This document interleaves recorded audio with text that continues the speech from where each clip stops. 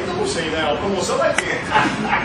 Mas olha, é uma figura ótima, Precisa um pouquinho de treinamento ainda, mas é uma figura extraordinária. Olha, eu já estou vendendo assim, o Novo Preto vai servir de exemplo para todos aqui da empresa. Eu estou até ouvindo os comentários, né? Olha, oh, ele foi promovido, mal chegou na empresa, já foi promovido porque é um cidadão consciente. Realmente é um sujeito extraordinário. Então, hoje você fala uma coisa.